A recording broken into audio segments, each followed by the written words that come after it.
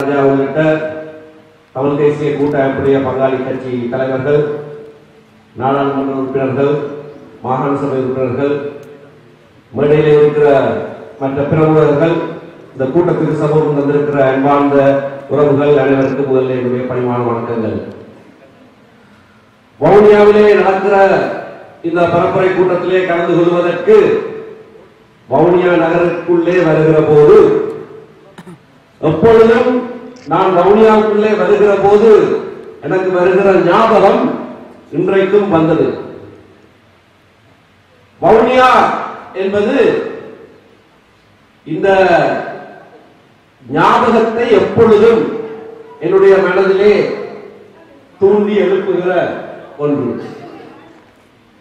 ஏனென்றால் என்னுடைய அரசியல் சிந்தனையை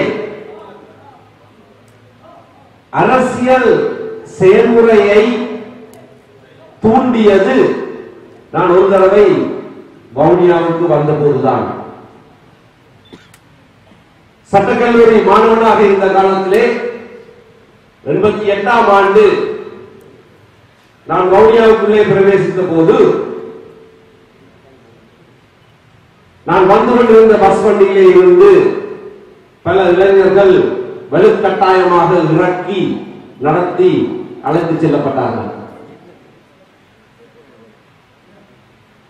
அந்த காலத்திலே அந்த நாட்களிலே போயிரத வண்டியிலேயும் பஸ் வண்டிகளிலேயும் பயணமாகிற இளம் வாலிபர்களை பிடித்து தங்களுடைய அணியிலே சேர்ப்பதற்கு மொட்டை அடித்து இழுத்து சென்றவர்களை உங்களுக்கு தெரியும்.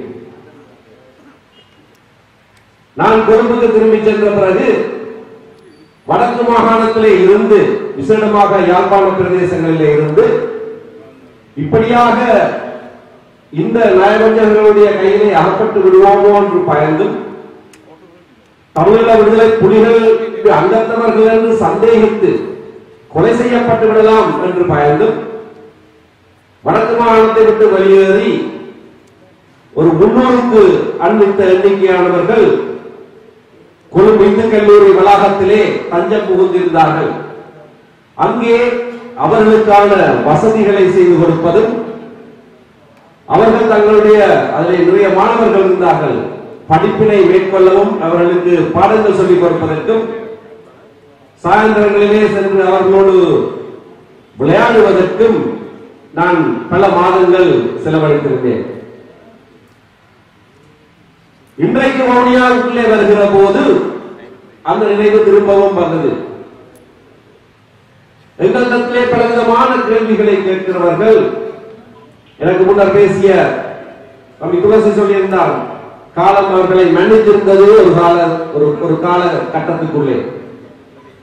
ஆனால் அவர்கள் திரும்பவும் தடம் மாறி தவறான பாதையிலே செல்ல தலைப்பட்டிருப்பது துரதிருஷ்டவசமானது அதுவும் வவுனியாவிலே. உதய சூரியன் சின்னத்தை மிகவும் உன்னதமான ஒரு சின்னமாக எங்களுடைய மக்கள் நேசித்தவர்கள் அதிலே இருந்துதான் நாங்கள் எங்களுடைய உரிமையை புதுப்பித்துக் கொள்ள வேண்டும் என்கின்ற வட்டுக்கோட்டை தீர்மானத்தோடு வழிவந்து மக்களுடைய அமோக ஆதரவை பெற்றது.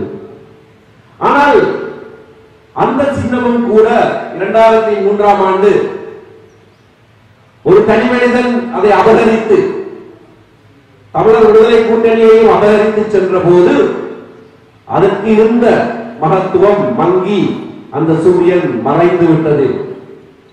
அதற்கு பிறகு அந்த சூரியன் எழுச்சி பெறவே இல்லை.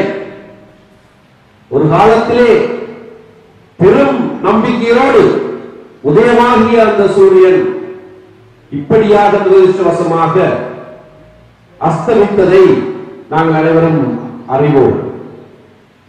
ஆனால் இன்றைக்கு அதை திரும்பவும் தட்டி எழுப்புகிற வகையிலே நான் முன்னர் சொன்ன சம்பவங்களுக்கெல்லாம் பொறுப்பாளிகளாக இருந்தவர்கள் தங்களுடைய வா- வா- தங்களுடைய நடத்தையை சீர் சீராக்கி விட்டார்கள் என்று நாங்கள் நம்பி இருந்தவர்கள் அப்படியல்ல நாங்கள் பழையபடிதான் வாழப்போகிறோம் என்று அந்த உன்னதமான சீதத்தை இன்னும் மோசமாக பாலளிக்கிற ஒரு செயற்பாட்டிலே இறங்கியிருக்கிறார்கள்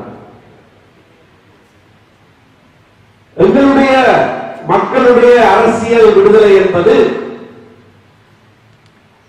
திட்டவட்டமாக தெளிவாக பல தசாப்தங்களாக வெளிப்படுத்தப்பட்டு வந்திருக்கிறது. ஒரு காலத்திலே உள்ளக ஒரு நாட்டுக்குள்ளே இந்த அரசியல் சுதந்திரம் கிடைக்க மாட்டாது. ஆகையினாலே நாங்கள் மீண்டும் எங்களுடைய இறைமையை புதுப்பித்துக் கொள்ள வேண்டும் என்று நாங்கள் தீர்மானித்தோம். எங்களுக்கான இறைமையை எங்களுக்கான சுய நிர்ணய உரித்தை நாங்கள் ஒருபோதும் விட்டுக் கொடுத்ததும் இல்லை இப்பொழுதும் விட்டுக் கொடுக்கவில்லை இனியும் விட்டுக் கொடுக்க போவதில்லை. ஆனால் சர்வதேச சட்டத்தின் கீழே சுயநிர்ணய உரித்து உள்ளவர்களும் கூட வெவ்வேறு அமைப்புகளிலே வெவ்வேறு வகையான விடயங்களை கையாளக்கூடிய வகையிலே ஒரு நாட்டுக்குள்ளே அந்த சுயநிலை சுயநிர்ணய அவர்கள் கொண்டிருக்கலாம் என்கிற கோட்பாட்டின் கீழ் அப்படியான ஒரு ஒழுங்குமுறையை ஒரு ஆட்சி முறையை நீங்கள் கொண்டு வருவீர்களாக இருந்தால் நாங்கள் அந்த ஒரு நாட்டுக்குள்ளே எங்களுடைய இறையாண்மையையும் சுயநிர்ணய உரிமையும் உபயோகிக்க தயாராக இருக்கிறோம் என்று கடந்த பல தசாப்தங்களாக நாங்கள் சொல்லி வருகிறோம்.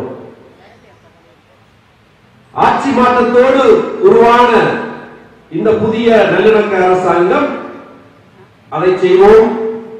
உங்கள் மக்கள் மக்களுடைய அபிலாஷைகளை சந்திக்கக்கூடிய வகையில் எங்களுடைய நாட்டினுடைய அடிப்படை சமூக ஒப்பந்தத்தை இந்த நாட்டிலே வாழுகிற வெவ்வேறு மக்கள் சேர்ந்து ஏற்படுத்துகிற அந்த சமூக ஒப்பந்தத்தை நாங்கள் புதுப்பிப்போம் புதியதாக உருவாக்குவோம் என்று சொன்ன அந்த வாக்குறுதியை நாங்கள் ஏற்று அவர்களோடு சேர்ந்து ஒரு புதிய சமூக ஒப்பந்தத்தை வரைந்து கொண்டிருக்கிறோம். அது ஒரு இடைக்காலம் வரைக்கும் வந்திருக்கிறது. அது இதுவரை பயணித்ததை அந்த இடைக்கால அறிக்கை வெளிப்படுத்தி இருக்கிறது அது வெளிப்படுத்தி இருக்கிற அந்த கோட்பாடுகளை பார்ப்போமாக இருந்தால் ஒரு புள்ளியிலே ஒரு மத்தியிலே ஆட்சி உறுப்புகள் அனைத்து ஓரிடத்திலே இருப்பது மாற்றப்பட்டு இலங்கை ஒற்றையாட்சி நாடு என்று சொல்லப்படுவது எடுக்கப்பட்டு இலங்கை என்பது மத்தியிலும் மாகாணங்களிலும் ஆட்சி அதிகாரங்களை பகிர்ந்து செய்கிற ஒரு தேசமாக நிறுவனங்களை கொண்ட நாடாக இருக்க வேண்டும் என்ற ஒரு அடிப்படை மாற்றத்தை கொண்டு வருகிறதான பிரேரணை அந்த இடைக்கால அறிக்கையிலே சொல்லப்பட்டிருக்கிறது. அது ஒரு முன்னேற்றகரமான விடயம். இதை எவரும் மறுக்கவோ மறைக்கவோ முடியாது. மறைக்க முடியாது. ஏனென்றால் அந்த இடைக்கால அறிக்கை எல்லாருடைய கையிலேயும் இருக்கலாம். எல்லாருடைய தொலைபேசியில கூட பார்க்கலாம். இணையதளங்களிலே ஏராளமாக இருக்கிறது. மூன்று மொழிகளிலேயும் இருக்கிறது. நான் பல இடங்களிலே சொன்னதைப் போல தமிழ் மொழியிலே இருக்கிற அறிக்கையிலே நூற்றி பன்னிரண்டு பக்கங்கள் உண்டு. நூற்றி பத்து பக்கங்களை விட்டு விட்டாலும் முதல் இரண்டு பக்கங்களை படித்தாலுமே இந்த அடிப்படை மாற்றம் பிரேரிக்கப்பட்டிருக்கிறது. தெரிய வரும் பிரேரிக்கத்தான் பட்டிருக்கிறது. அண்ணன் சித்தார்த்தன் சொன்னது போல இது முடிவான அறிக்கை அல்ல. ஆனால் ஒரு அடிப்படையான மாற்றம். எங்களுடைய ஒப்பந்தத்திலே ஒரு நாடாக நாங்கள் வாழுகிறதாக இருந்தால் என்ன அடிப்படையிலே?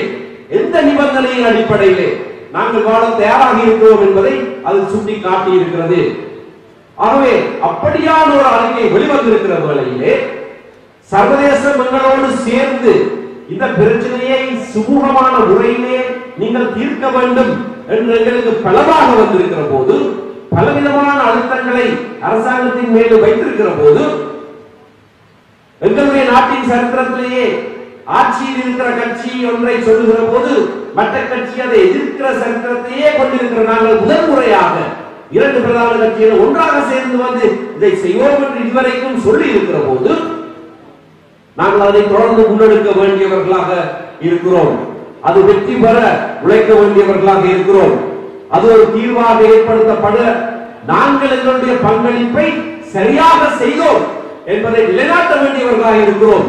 மறுபக்கத்திலே ஆட்சியாளர்கள் தவறு செய்கிற போது அவர்கள் அதனை கொடுக்காமல் விடுகிற போது அவர்கள் சொன்ன வார்த்தை மீறுகிற போது நிலைமை மாற்றமடையும் ஆனால் நாங்கள் அதை முறித்து விட்டோம் இருந்த சூழ்நிலையை இருந்த சந்தர்ப்பத்தை நாங்களாக குழப்பி விட்டோம் என்று சர்வதேசம் எங்களிலே குறை சொல்லக்கூடாது. இதை நாங்கள் திட்ட தெளிவாக மக்களுக்கு சொல்லியிருக்கிறோம்.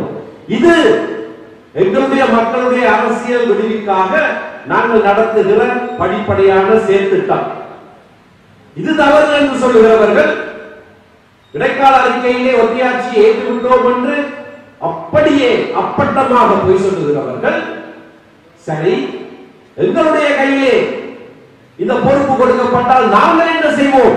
எப்படியாக எங்களுடைய மக்களுக்கான அந்த அரசியல் விடுதலையை பெற்றுக் கொடுப்போம் என்று ஒரு வார்த்தை கூட சொல்லவில்லை. பலர் பற்றியே சொல்லியிருக்கார்கள் எவ்வளவுதான் கேள்வி கேட்டாலும் அதுக்கு மறுமொழி கிடையாது. ஆனபடியினாலே தொடர்ச்சியாக இலங்கையிலே வாழுகிற தமிழ் மக்கள் திட்டவட்டமாக தங்களுடைய கொள்கை பிரகடனமாக சுயாட்சியின் அடிப்படையிலே ஒரு தீர்வு திட்டத்தை பெறுவதற்கு மட்டும் நாங்கள் தயாராக இருக்கிறோம் என்று சொல்லுவதை நிறைவேற்ற பண்ண வேண்டும். அதற்கான ஆதரவு தொடர்ச்சியாக மக்கள் ஒவ்வொரு தேர்தலிலேயும் நாங்கள் எங்களுடைய தேர்தல் அறிக்கையிலே சொன்னதை போல ஒவ்வொரு ஜனநாயக சந்தர்ப்பத்திலேயும் எப்பொழுதெல்லாம் வாக்களிக்கிற சந்தர்ப்பம் கிடைக்கிறதோ அந்த வேலைகளில் எல்லாம் இதுதான் எங்களுடைய அரசியல் நிலைப்பாடு. நாங்கள் தேசிய இனம் இந்த நாட்டிலே ஒரு நாடாக இந்த தீவிலே நாங்கள் மற்ற இனங்களோடு சேர்ந்து வாழ்வதாக இருந்தால் அது எங்களுடைய உள்ளக சுயநிர்ணய உரிமையின் அடிப்படையிலே நாங்கள் உங்களோடு இணங்கி வாழுகிற ஒரு சுயாட்சி அமைப்பாக மட்டுமே இருக்க முடியும். அப்படியான ஒரு ஆட்சி முறை மாற்றத்துக்கு நாங்கள் தயாராக இருக்கிறோம் என்று சொன்னவர்கள் அதனை நிறைவேற்றுவதிலே நாங்களாக எங்களுடைய ஊக்கத்தை முழுமையாக காட்ட வேண்டும்.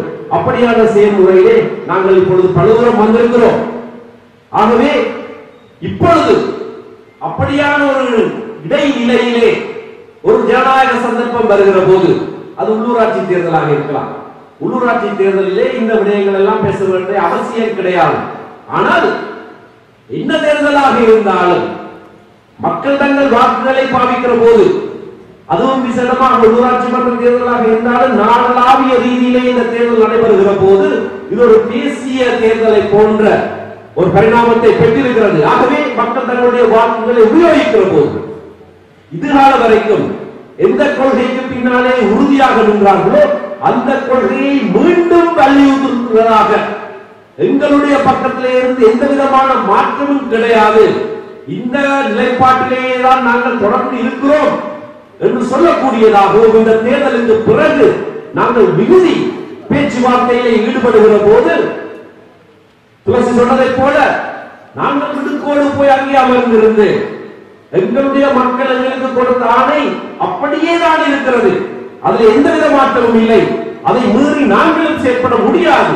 ஆகையினாலே இந்த அடிப்படை விடயங்கள் சீர் செய்யப்பட வேண்டும். இடைக்கால அறிக்கையிலே சொல்லப்பட்ட பல கோட்பாடுகள் அந்த கோட்டை தாண்டி வந்திருக்கின்றன. ஆனால் அந்த கோட்டை தாண்ட வேண்டிய இன்னும் பல விடயங்கள் இன்னும் இருக்கின்றன. அவற்றை நாங்கள் செய்தாக வேண்டும். நாங்கள் அதனை சரியான முறையிலே நிறைவேற்ற வேண்டும்.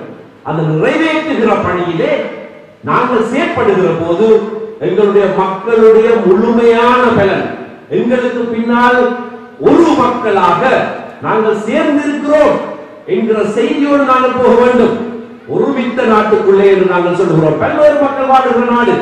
ஆனால் அந்த பல்வேறு மக்கள் கூட அவர்கள் தங்களுடைய சுயாதீனத்தை வைத்துக் கொண்டிருந்தாலும் சுயாட்சி கேட்டிருந்தாலும் சுயாட்சியை அவர்கள் உபயோகப்படுத்துகிற போதிலையும் கூட ஒருமித்து வாழ்வதற்கு நாங்கள் தயார் என்று சொல்லுகிறோம். தமிழ் மக்கள் பேரவையுடைய தீர்வு தீர்வு திட்டத்தில் என்ன சொல்லியிருக்கிறது? ஒன்றித்த நாட்டுக்குள்ளே என்று சொல்லியிருக்கார்கள் ஒருமித்த நாட்டுக்கும் ஒன்றித்த நாட்டுக்கும் என்ன வித்தியாசம் என்று எனக்கு தெரியவில்லை. சைக்கிள் சின்னத்திலே போட்டியிடுகிறவர்கள் தமிழ் மக்கள் பேரவையுடைய தீர்வு திட்டம் தான் எங்களுடைய தீர்வு திட்டம் என்று இப்பொழுது அறிவித்திருக்கிறார்கள். அதுல என்ன சொல்லி இருக்கிறது ஒன்றித்த நாட்டுக்குள்ளே. சரியான தமிழ் சொல்லையாவது பாவிக்க வேண்டும். ஒருமித்த நாடு என்று. ஒன்றித்த நாடு என்ற ஒரு சொல்லை அஹ், நான் கேள்விப்பட்டதில்லை. ஒன்றித்த என்று. அது கிடக்கட்டும் ஆனால் அவர்கள் தான் சொல்லுகிறார்கள். அவர்களும் தான் சொல்லுகிறார்கள் எங்களோடு கொள்கையிலே ஏதோ வெகு தூரம் வேறுபட்டவர்கள் என்று. தங்களை தேசியவாதிகள் என்று போலி தேசியவாதிகள் அடையாளப்படுத்திக் கொண்டிருக்கிறார்கள். நாங்கள் தமிழ் தேசியத்தை எந்த காலத்திலையும் கைவிடுவதில்லை. நாங்கள் தமிழ் தேசியத்தை கைவிட்டால் தமிழ் மக்கள் எங்களை கைவிடுவார்கள். ஏனென்றால் நாங்கள் ஒரு தேசிய இனம் என்பது எங்களுடைய மக்களிலே ஆழ ஊறி போன விடயம் அதை எங்கள் மக்களிடத்திலிருந்து பிரித்தெடுக்க முடியாது. எப்படியாக இறை இறையாண்மை இறைமையை மக்களிடத்திலிருந்து பிரித்தெடுக்க முடியாதோ அதே போல நாங்கள் தனியான தேசிய இனம் என்பதை அந்த உணர்வை எங்களுடைய மக்கள் மக்களிடத்திலிருந்து பிரித்தெடுக்க முடியாது. அது ஆட்சியாளர்களுக்கு நன்றாகவே தெரியும். ஆகையினாலே அந்த அடிப்படையிலே தான் அந்த அடிப்படையிலே தான் அந்த அடிப்படையின் காரணமாகத்தான் நாங்கள் சுய ஆட்சியை கேட்டு நிற்கிறோம் அப்படியான ஒரு ஆட்சி முறை கொடுக்கப்பட வேண்டும் என்று சொல்லுகிறோம். அது வழங்கப்படுகிற போது அது ஒரு நாட்டுக்குள்ளே இருக்கிற ஒரு முறைமைக்குள்ளே நாங்கள் வாழ தயார் என்று சொல்லி இருக்கிறோம் அந்த தயார் என்று சொன்னதையும் எங்களுடைய மக்கள் கடந்த பல தேர்தல்களிலே எங்களுக்கு ஆணையாக கொடுத்திருக்கிறார்கள். ஆனால் அந்த நிபந்தனையோடு கூடினது. அந்த நிபந்தனையோடு கூடினது. ஆகவே அந்த நிபந்தனையை நாங்கள் பூர்த்தி செய்யத்தக்கதாக அரைவாசி தூரம் வந்திருக்கிறோம். முழு தூரமும் போய் சேருவோம் என்று நிச்சயம் கிடையாது. ஆனால் அரைவாசி தூரம் வந்த நாங்கள் மிகுதி தூரத்தை நாங்கள் கடப்பதற்கு தயங்கிறோம் என்ற பழிச்சொல்லுக்கு ஆளாகாமல் நாங்கள் தயாராகவே இருந்தோம். முழு தூரமும் நடந்து செல்ல நாங்கள் தயாராக இருந்தோம். நாங்கள் பொறுப்போடு அதை செய்கிறோம். எங்களுடைய மக்களும் வெறுமனே தமிழ் தேசிய கூட்டமைப்பு அல்ல எங்களுடைய மக்களும் முற்று முழுதாக அதில் இணங்கி வருகிறார்கள் ஆனால் அதற்கு தடையாக மற்றவர்கள் செயற்பட்டதை குழப்பினார்கள் என்றுதான் இருக்க வேண்டுமே ஒழிய எங்களுடைய பக்கத்திலே இருந்து இது பழுதுபட்டதாக செய்தி என்றைக்குமே வெளிவரக்கூடாது. ஆகையினாலேதான் இந்த ஜனநாயக சந்தர்ப்பத்தையும் ஊராட்சி மன்றங்களுக்கு உங்களுடைய பிரதேசங்களுக்கு அபிவிருத்திக்கும் அதை செய்ய வேண்டிய பல சேவைகளுக்குமாக நீங்கள் வாக்களிக்கிற தேர்தலாக இருந்தாலும் ஒட்டுமொத்தமாக முழு நாடும் வாக்களிக்கிற வேளையிலே தமிழ் மக்கள் மீண்டும் திட்டவட்டமாக இந்த தேர்தலிலேயும் எங்களுடைய அரசியல் நிலைப்பாட்டை தமிழ் தேசிய கூட்டமைப்புக்கு வாக்களிப்பதன் மூலமாக மட்டும்தான் நிலைநாட்ட முடியும். அதை செய்வீர்கள் என்ற நம்பிக்கையிலே கொள்கிறேன் நன்றி வணக்கம்.